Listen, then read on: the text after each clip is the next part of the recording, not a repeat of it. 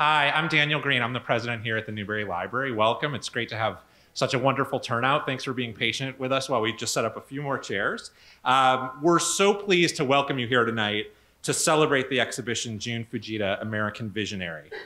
This exhibition, as you know, is, is co-presented by the Newberry and the Poetry Foundation. And what you've seen in our galleries this evening is an expanded version of an exhibition first mounted at the Poetry Foundation in 2017. The exhibition explores Fujita's poetry, photojournalism, landscape photography, and his uncommon life. The Newberry is honored to collaborate with the Poetry Foundation and to be part of the evolution of this fascinating exhibition. Some of you may know that the Newberry and poetry have had a long relationship as institutions. Poetry Magazine, in fact, um, for a long time had its offices right here within the library. So this collaboration is a natural because of the shared histories and the overlapping mission of the Newberry and the Poetry Foundation. And it's also a natural because Jun Fujita's work intersects in so many ways with the Newberry's collection. This collaboration has enabled us to draw upon our extensive holdings in Chicago history and literature to illuminate the time in which Jun Fujita lived. And we're so honored to have the curators of the exhibition here this evening, as well as Jun, Fujita's great nephew. Uh, before I introduce them, I want to let you all know that the Newberry has a dynamic slate of public programs occurring in conjunction with this exhibition. Um, you can pick up this sheet on the table um, and um, see some of the offerings we have during the run of this exhibition, which uh, runs through the end of March. And like the exhibition and like this evening, all of the public programs are free and open to all. And we're also offering a series of adult education seminars that are designed to help you engage the exhibition in greater depth um, through a special series of one-day seminars. If you want to pick up this brochure on the table, you can see that there are offerings um, related to Jun Fujita's childhood. Um, there's a Tanka poetry workshop. There's seminars on Japanese American resettlement in Chicago during World War II, the visual culture of Japanese incarceration. There's a seminar on reading documentary photographs. So information on these public programs and seminars are all available on the table there. And of course, they're available on our website um, at newberry.org. Um, you can register online now through our Adult Education Seminars program. I'm so pleased tonight to introduce our speakers, Fred Sasaki, Catherine Litwin, and Graham Lee. Fred Sasaki is the art director at Poetry Magazine and the Poetry Foundation exhibition's co-curator. He edited Who Reads Poetry, published by the University of Chicago Press in 2017 with Don Share, and Jun Fujita, Oblivion, uh, published by the Poetry Foundation in 2017 with his co-curator, Catherine Litwin. Catherine Litwin is the library director and exhibitions co-curator for the Poetry Foundation and the co-curator of this exhibition with Fred Sasaki. Graham Lee is a writer, graphic designer, and the great nephew of Jun Fujita. Lee has spent the last five years researching Fujita's life, retracing his great uncle's footsteps, and creating a story that combines a rich family history with historical and personal photographs of extraordinary Chicago events. So please welcome me in joining Fred Sasaki, and please join me in welcoming Fred Sasaki, Catherine Litwin, and Graham Lee. Thank you.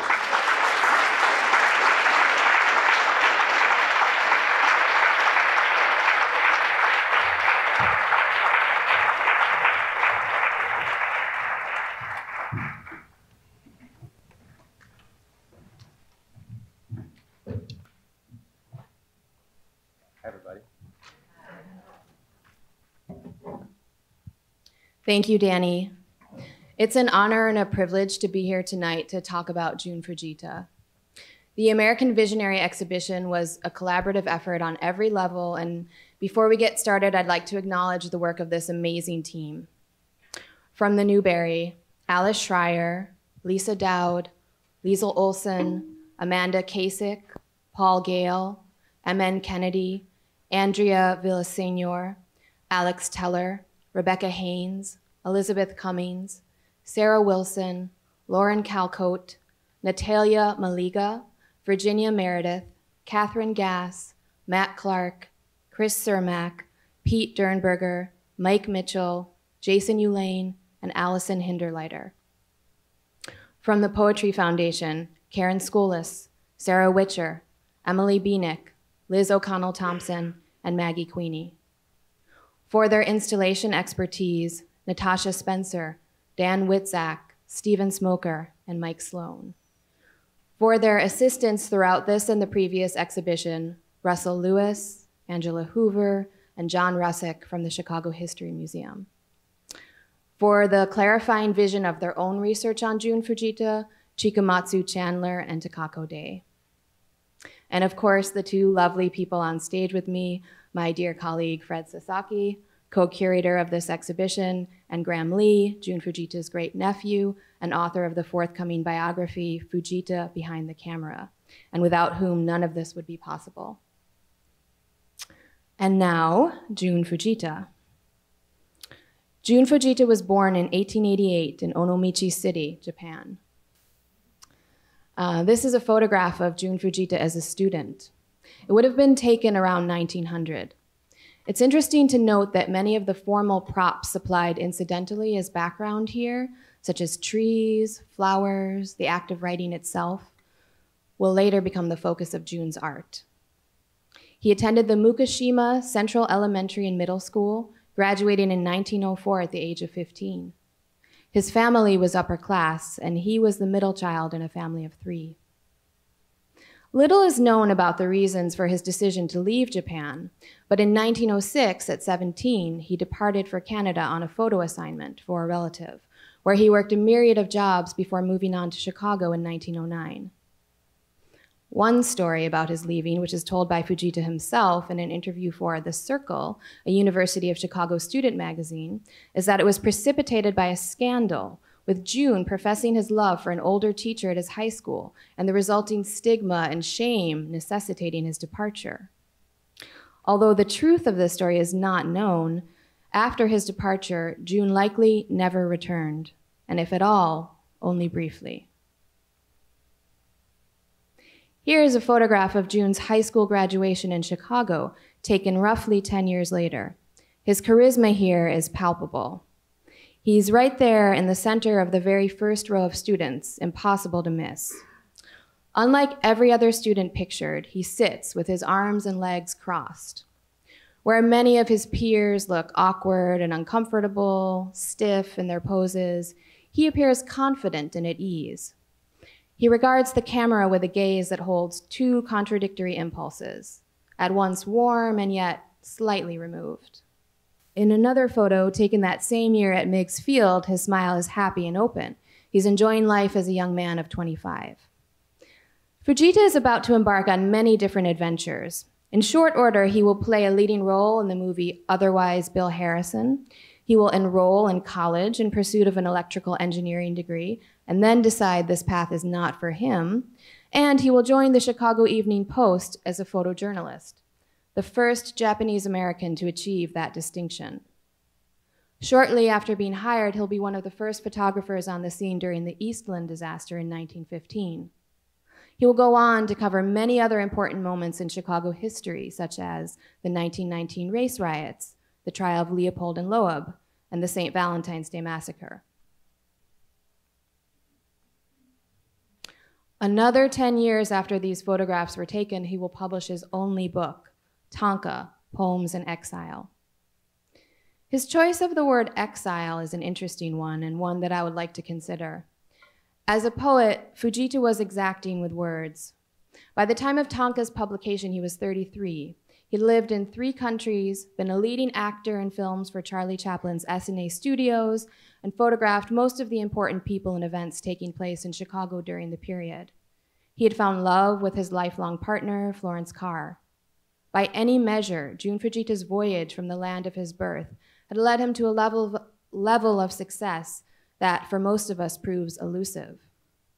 And yet, this word exile stands in counterpoint to the narrative in which Jun Fujita moves seamlessly from accomplishment to accomplishment against a glittering backdrop of Chicago. It's there like an undertow or a backbeat.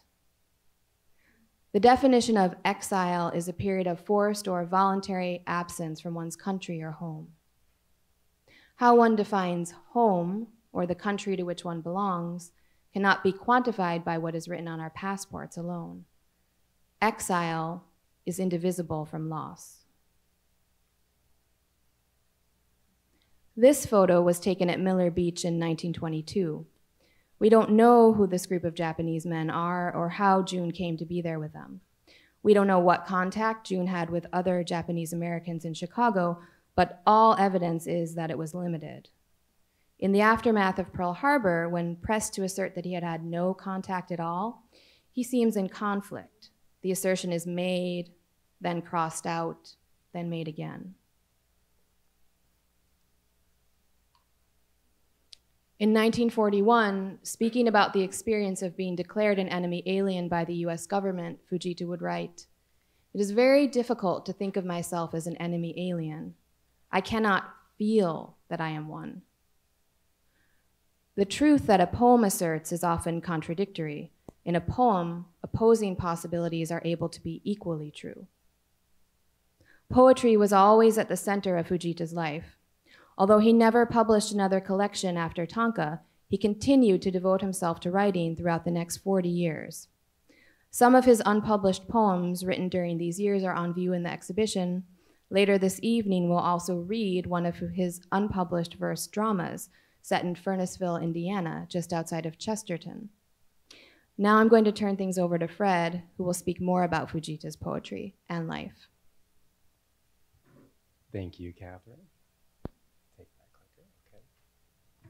Um, so Catherine's overview of the life and times of Jun Fujita indicates multiple ways of looking at our beloved hero as poet, photographer, actor, Japanese, American.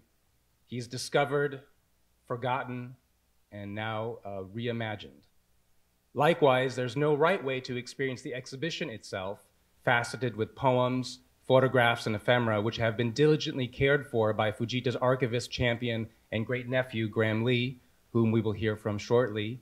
Lee has put together a record of the old standard American dream, rife with nightmares inherent to such an endeavor.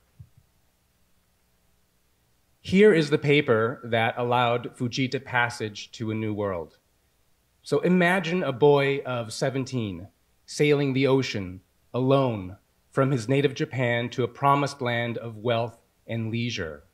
He writes poetry and takes nature photos, even publishes a book to some acclaim. He stars in a movie.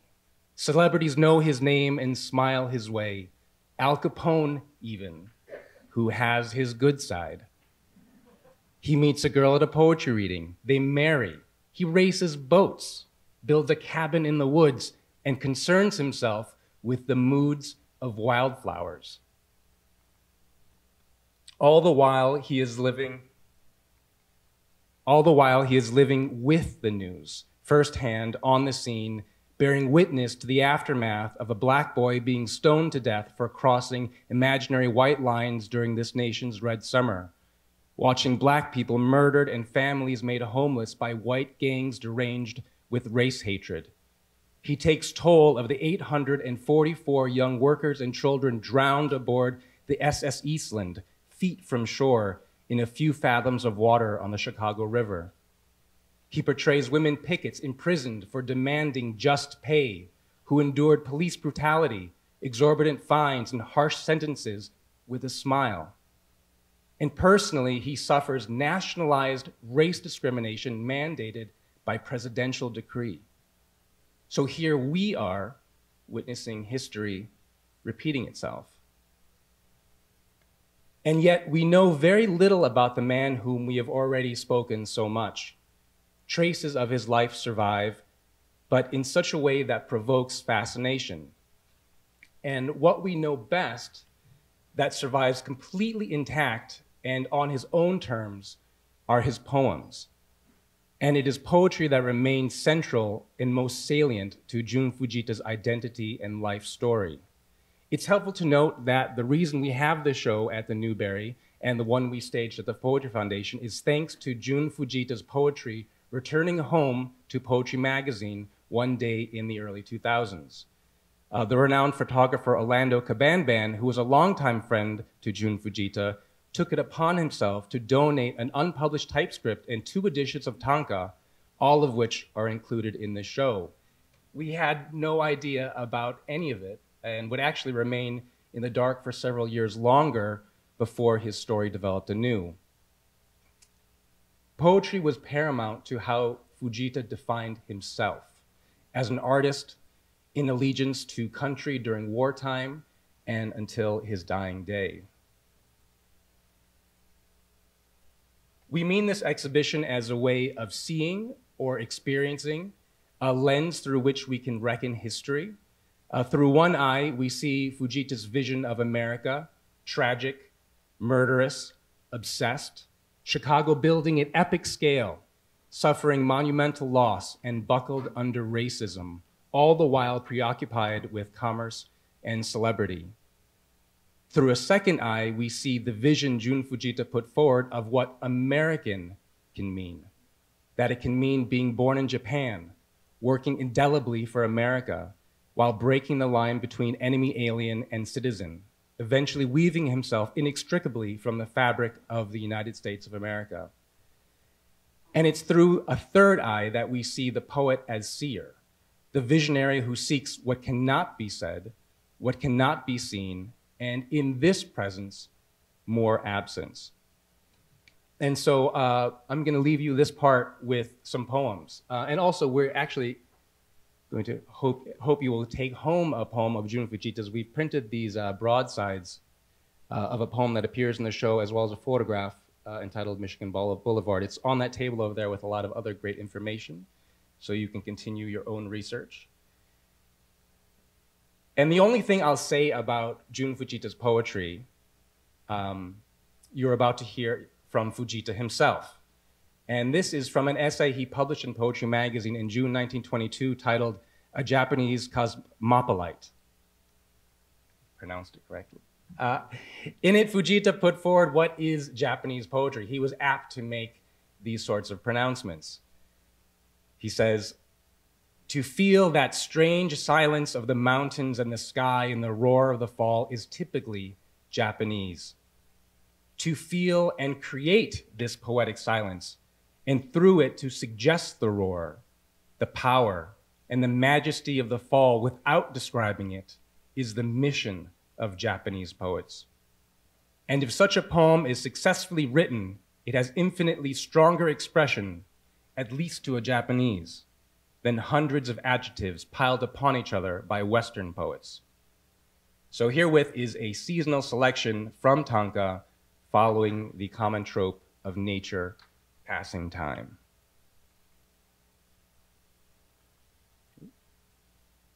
Winter. The book was divided um, by season.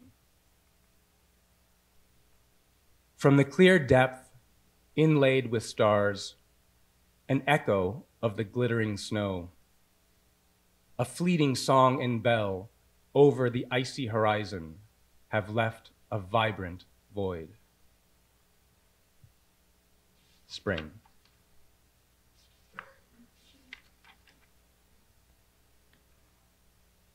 The sloping sand plain fades into pale night air.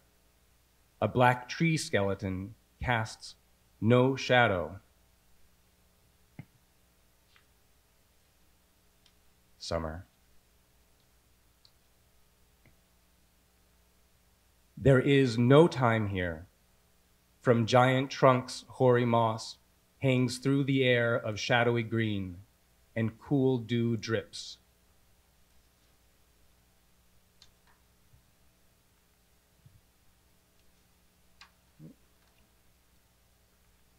Autumn. A sudden caw, lost in the air, leaves the hillside to the autumn sun, save a leaf or two curling, not a sound is here.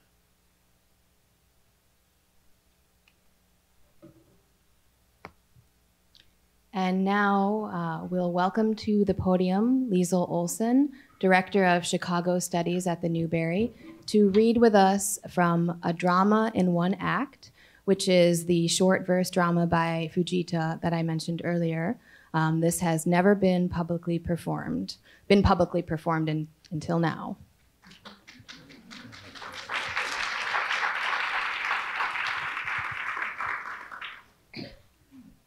A drama in one act. The stage setting and characters a frozen pool in the woods, the moon, and a fool. Place on Furnessville Trail. Fool. The pool is frozen tonight. The pool that nursed a dragon of black and gold is frozen.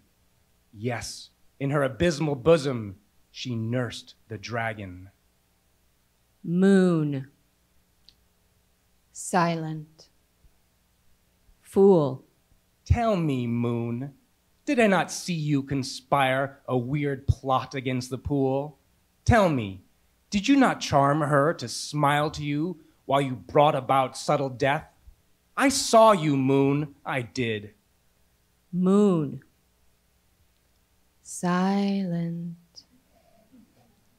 Fool. Yes, I saw the shadow of dead branches sway over the pool. Moon. Silent. Fool. They don't move now. Moon. Silent. Fool. I saw you coax dying leaves to leave the twigs, one and one. With a cautious and crisp sound they fell. They thought you befriended them. Moon. Silent. Fool. None moves now. Voice in the air. You see a leaf standing upon the frozen crystal. He is dead. He casts a clear shadow. Fool. Yes, yes. You see the trees, all in a frost gray, standing rigidly against the frost, against the blue black sky. They are brittle. Fool. Yes. Voice in the air. There is a crystalline sharpness in the pool. My work is done. Fool.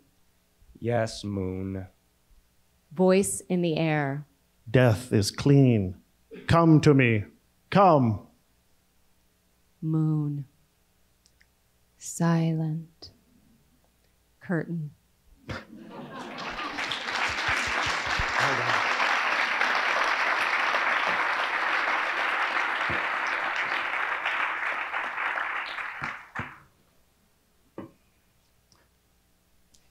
And um, we'll turn things over to Graham now to speak more about Jun Fujita's amazing life and family. That uh, one act drama is a little hard to follow. Thank you for indulging us. It was a lot of fun rehearsing at work. um, so I'm going to take you through kind of a family slideshow, kind of uh, casually. Um, this is not Jun Fujita. Uh, this is my grandfather, and it's through him largely um, I use as my touch point into the world of Jun Fujita. Um, they were best friends. They shared a lot of the same interests in music and art, and um, they tinkered constantly with uh, their stereo sound systems, um, photography, camping, boating, fishing. Um, this was this was what Jun Fujita was doing when he was not on the streets of Chicago following the latest news story. Um, the reflection that I see in, in, my, in my grandfather's eyes there when I picture Jun on the other side of the boat, that's all I need to know really about their relationship. So I look at that and I just, I see it all. But there was a lot of mystery with what my grandfather left me with. He gave me boxes of things that I really didn't even open until after he died. Um, I wasn't ready for them. But when I did look into them, there was a lot of mystery to it, and things turned up later. This is an example of a photograph that came with that collection from Orlando Cabanban. He split some of it with the Poetry Foundation, and he gave the rest to me, saying, I've been waiting for a family member of Jun Fujita to show up. I've got something for you. He had photographs, he had pictures, he had letters, things that I didn't know anything about. Um, and it brought me into this world of research and connections that I didn't even think were possible. Um, connections here on the stage, there's people in the audience. Uh, Professor Chikamatsu uh, is in the audience. Um, Takako is in the audience. Takako Day opened up worlds into uh, Japan that I didn't think were possible. And as a result, it seems fairly obvious, but I, this is Jun's brother. So Gichi and his, his wife Ren and their seven children. And it opened up this whole new doorway to a world that Jun largely closed when he left Japan. These photos were there as well. This is Jun's sister, Chio, and his mother, um, which I always, Tatsu. And then the research and the you know, digging kind of into this past of Jun Fujita led us into other sort of adventures like come on did he really star in a one act or in a silent picture that seems fantastical and yet we've got the proof here he is starring as a manservant a valet for sort of a dream within a dream movie otherwise bill harrison they're um, they're going to infiltrate a drug ring and then happy accidents along the way. It's 1931 and Capone's in a little trouble, tax evasion stuff. Can you see, can anyone spot Jun in the photo? Yeah. So there, there he is. So not a photo he took, but kind of a rare glimpse of him in action. Um, and you find these, I'm always scanning the photos, looking in crowd scenes at all the uh, events he might have covered. Um, I found him at the Leopold and Loeb trial, kind of in the background, half faded out. You can hardly see him, but you recognize him. It's Jun. Um, I think there's a glimpse of him that I see at the Eastland disaster from behind, but he's got a very unique stance to him. You, you could pick him out. It's him. Um, that's also at the race riots. Um, there's a glimpse of him running with his camera he's it's the same crowd, the same picture you've seen with the crowd chasing down the down the uh, stockyards. Another photo, another photographer captured Jun just in the background, all chasing after this story. After the after he left the Chicago Evening Post, when it was absorbed by the Daily News, he started his own um, photography company uh, called Photocraft, and he did a lot of uh, at that time uh, food photography was in. Um, soldiers returning from the war were all interested in a home cooked meal. Everyone wanted a picture of the turkey. Um, but he also did old time radio ads. He, um, uh, here's um, Lights Out, old time radio show uh, featuring Boris Karloff.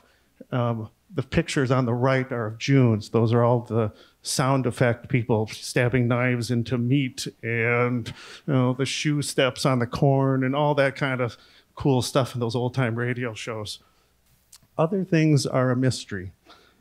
I don't know what is happening in this photo. I love it so much. I love the curve of the tree on the left.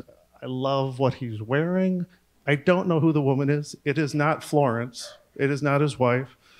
I don't know who the boy is. I love the look on his face. Probably the same look that I have when I look at this photo, going, I don't know what's going on.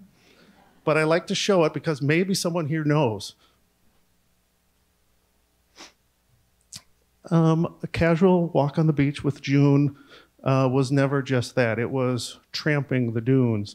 You packed up your gear. You were going to cook. You were going to take photos. You usually had backpacks. Um, he supplied sticks for you to walk with. Um, this is my mom on the left. Florence is in the middle, and Jun in his pith helmet. He's ready for his adventure. He loved the dunes so much. He loved the um, the drama of the flowers and uh, the ever-changing landscape of the dunes was was his was he was in his environment there. We've all got photos like this in our family albums, right? So, again, I don't know the story, but I like to paint the picture of Jun, who loved to cook, which was unusual. Um, he's got my grandmother in his arms, so my grandfather's wife, uh, Josephine. And it's it looks like she's holding a knife. I don't know what's going on, but but they're doing a tango. It's, it's kind of what I what I see, and it harks back to a story um, in Jun's youth. Um, he and my grandfather Wayne were introduced by Florence and Florence was asking Wayne to introduce Jun to the city. Go show him things. Take him to jazz clubs. Show him, bring him, bring him around. Um, so Wayne thought it would be a good idea to teach him tango lessons. They ended up with two dates in a boarding house. After it closes, they have to climb up to the roof, jump to the next building to get out as if nothing happened. Here's Jun on the right in full storytelling mode. It was always it was always told me that when Jun was around, you were just sort of in rapt attention to what he was going to say next. He often sat back and watched as conversations happened, and then people would turn to him and say, Jun, what do you think? And then he would launch into something like this and he would tell a story.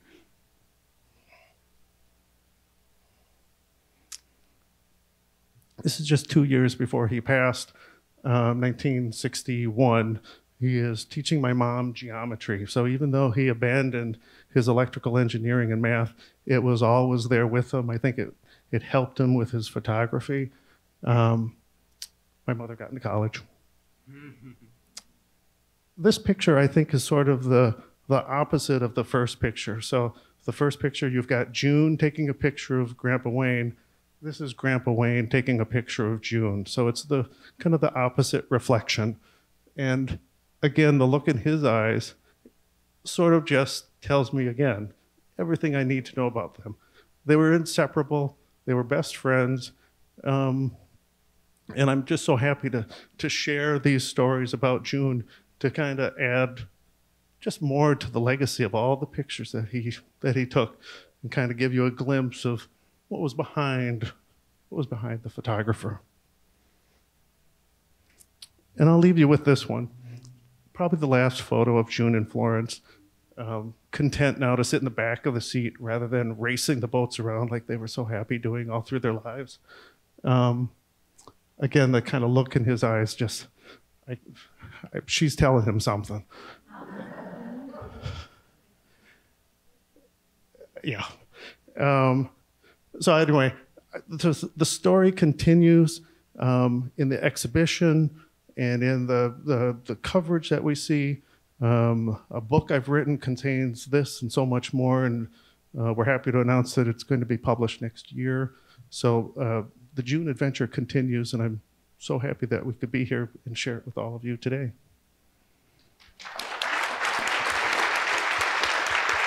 Now, and, and we're happy to take um, questions from the audience now. You'll just raise your hand and I'll bring over the microphone, right? Thank you very much. Very interesting. But I'm not clear on the relationship. He's your great uncle by marriage or? So, by marriage. So, uh, I like to walk it up. So, um, my grandfather's sister is Florence, who married Jun. Um, so, so technically, I don't know. He's all, he's always just been Uncle Jun to me not by birth. Yes. What kind of camera did he use, or cameras? Oh my gosh, uh, there's a list of cameras. Um, I wish I could tell you the, that, that first that box camera. Someone must know what that camera is in the audience. Deardorff. Deardorff. I've seen that. I've got a list of what he what he had when he passed away, and there's probably eight different cameras on it. The one in the floor. Deardorff, you say? All right, next question. Uh, this was for the uh, gentleman here with glasses. Um, you asked or you mentioned what was going on with the wheelbarrow. You couldn't tell he was in a dress. Right. Um, my grandfathers used to play pinochle back in their turn of the century, and whoever lost had to wear a dress. I like that. Maybe And- that's it. Yeah, they could wear their cigar and their hat, but they, they had to wear a dress and, and drive the car around and So he had to put as a, as a, as That losing the game. He had to push the woman around in the cart, wear the dress. probably a lost bet. I like Lost that. bet. I like that. Yes.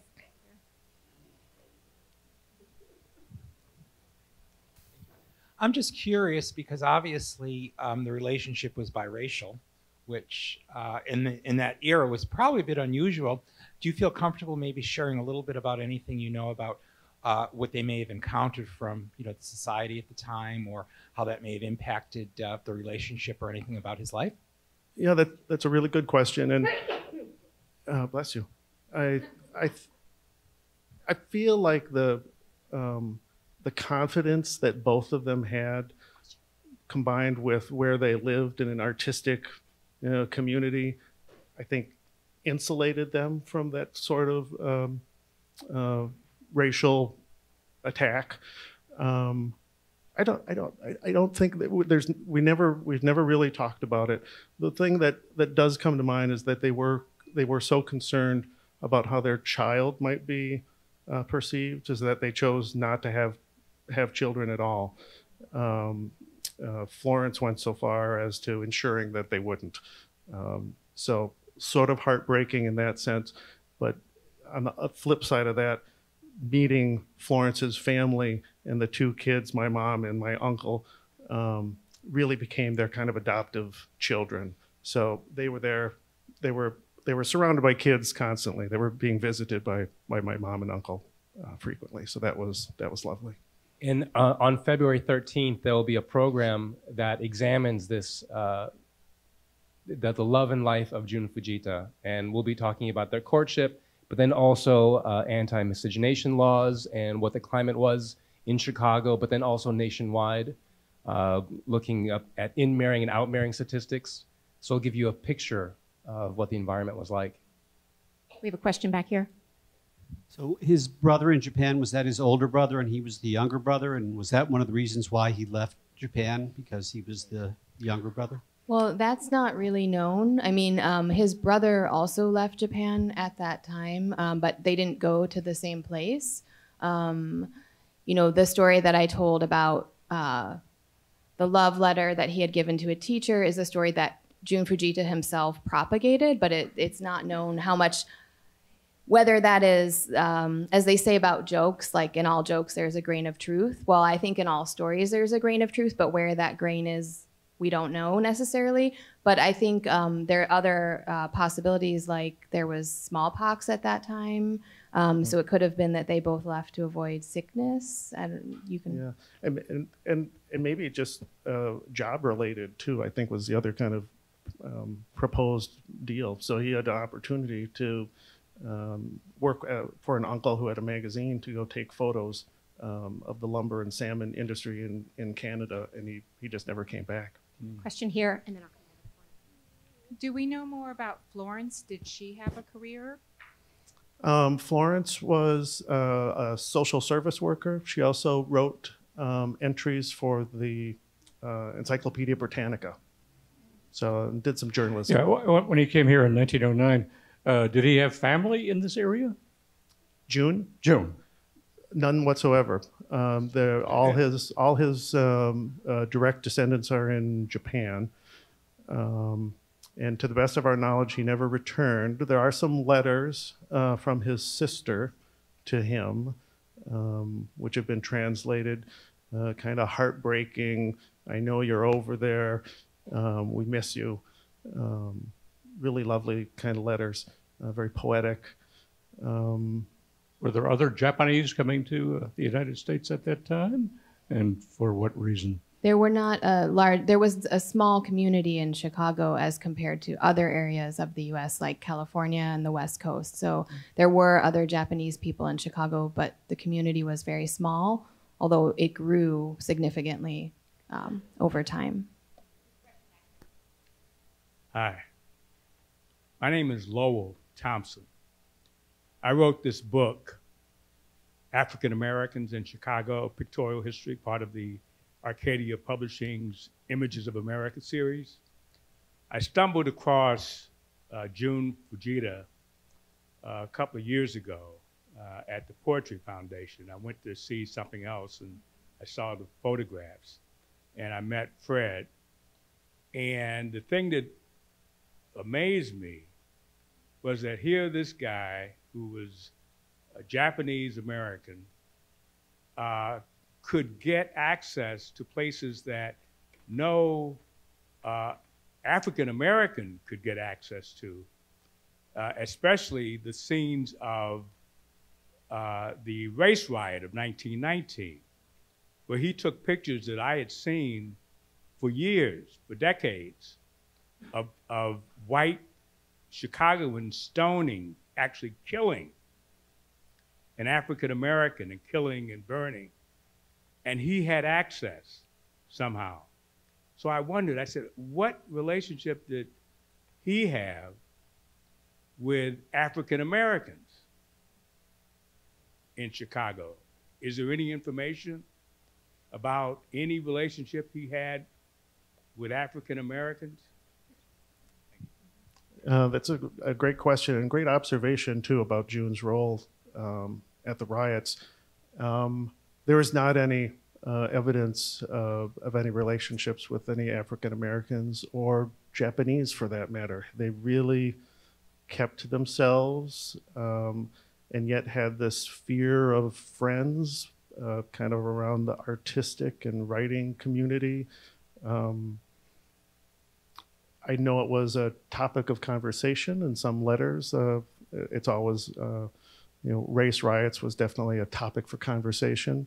They had um, dinners and gatherings where people would come and talk. Uh, they had friends like Hemingway and Faulkner who would come into town and be like, well, let's go over to the Fujitas and let's have a chat and see what's going on in Chicago, what's happening. And that's amazing. Um, so I, I don't know.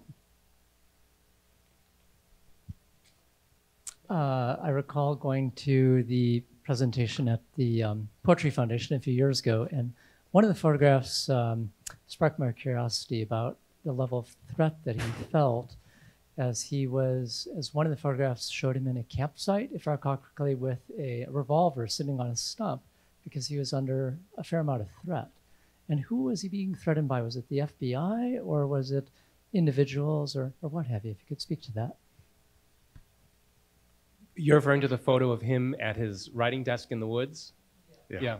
Okay, so for uh, those who haven't seen the photo, uh, it's in the exhibition, and I really encourage you to look closely at it. So, and so he would be in the woods, and he would make what he needed, um, like this writing desk made from, like wood, wood in the forest. And you see there, uh, tucked to the side with the typewriter on top, uh, the pistol, just sort of at hand. Um, although I imagine that was just more his character personality. Yeah. I, I think so. And I, I like to see the, the typewriter as the main weapon and then the, the Mm. gun kind of just there for Yeah. show. Well, do you, would you would you like to tell the, the legend of Al Capone's uh, recruitment? right. Um, Jun was kind of famously known for being adept with throwing knives.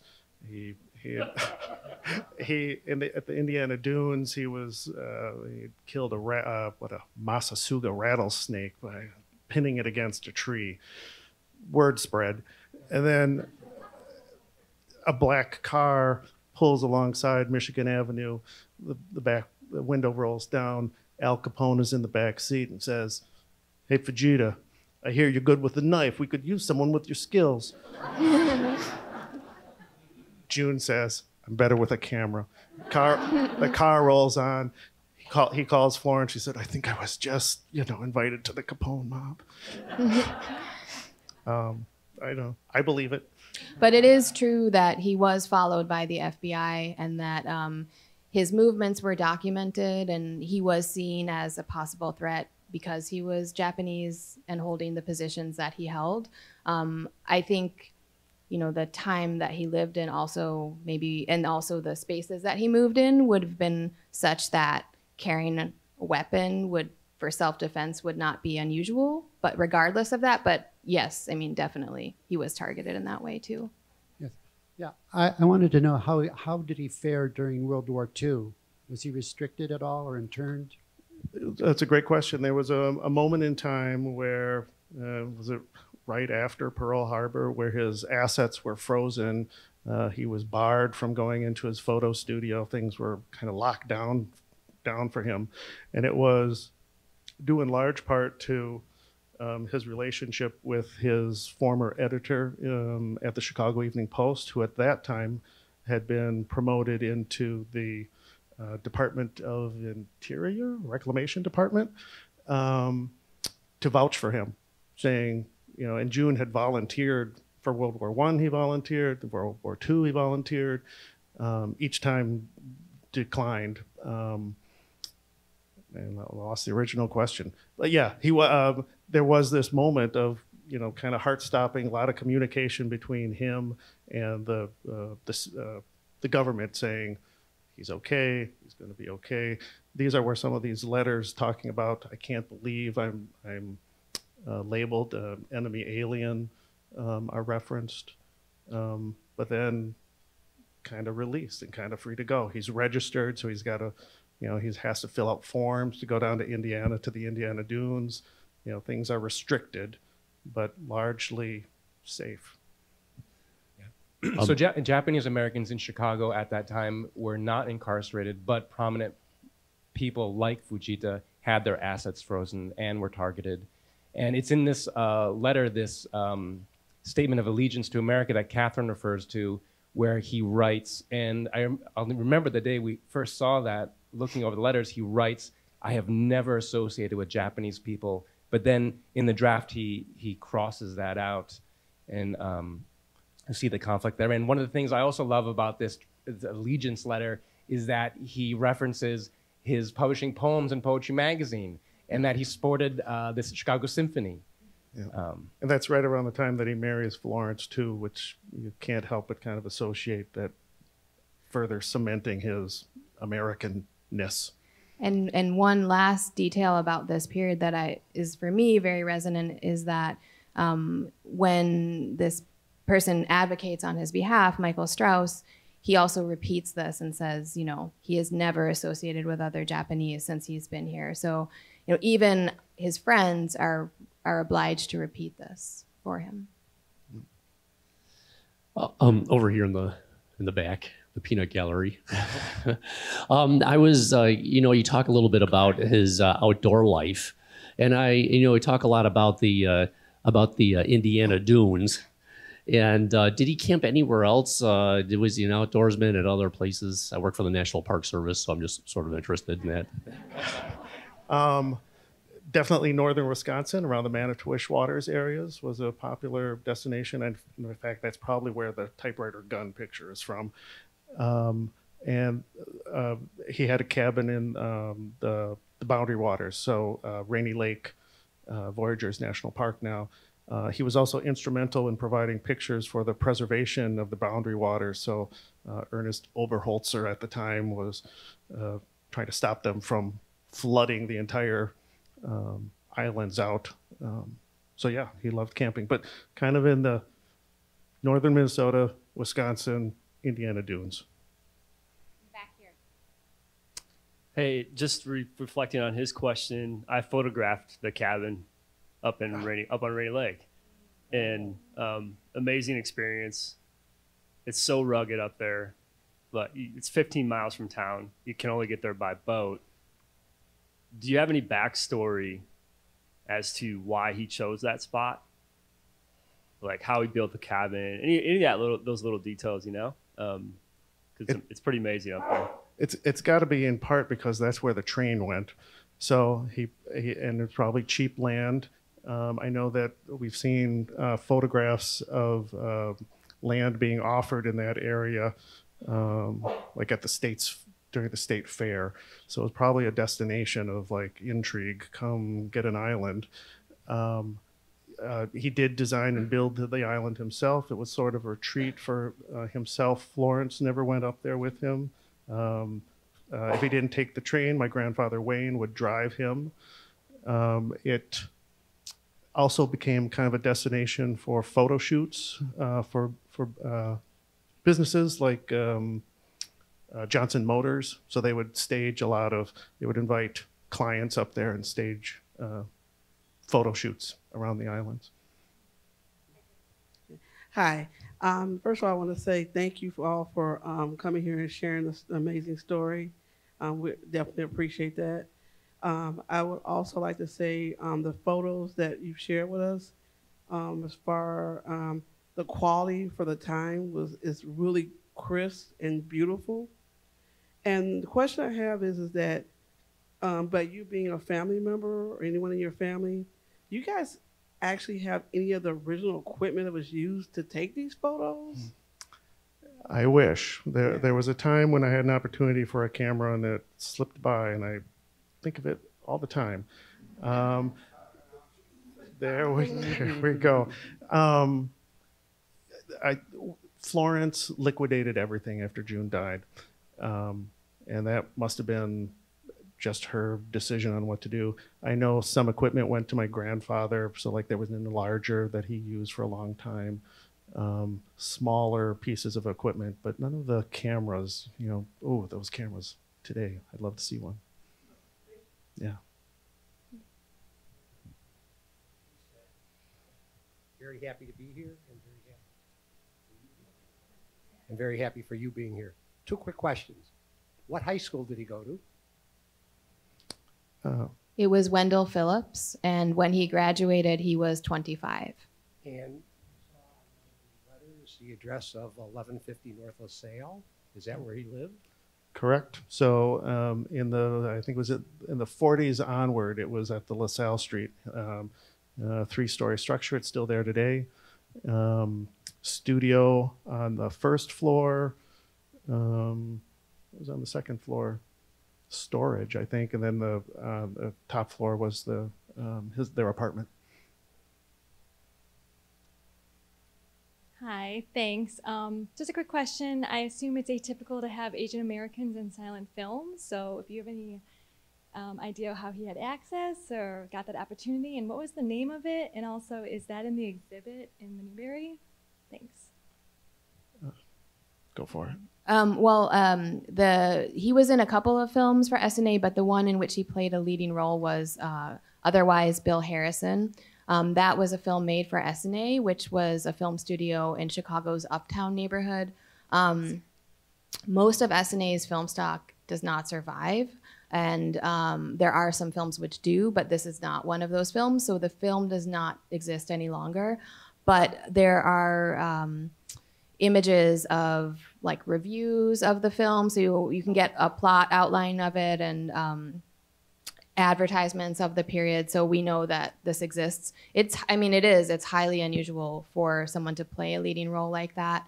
Um, in terms of how he ended up in that place in that position, we don't know. But he does seem like someone who, um, I mean, he his role as a photojournalist was also very unusual. So I mean, he doesn't seem to have been overly daunted by by those barriers himself.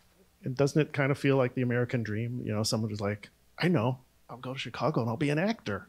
So I, I can see him, you know, that's I'm doing it. Um, did his family s- support him financially so he could do things like uh, pursue the arts?